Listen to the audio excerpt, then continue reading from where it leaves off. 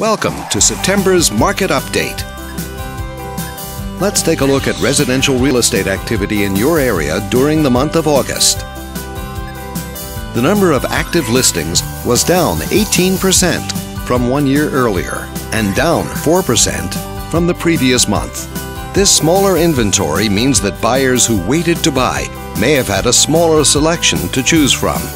As you can see, the median listing price for the month was just under $440,000. Compared to last year, the average number of days that units spent on the market before being sold was up 54%. This higher number of days may signal a slowdown in the local inventory turnover rate.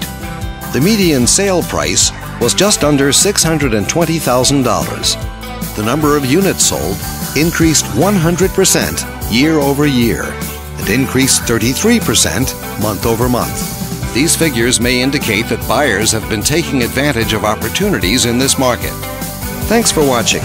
We hope you use this information to make smart, informed decisions in your upcoming real estate transactions. Click on screen to contact us for more information or further assistance.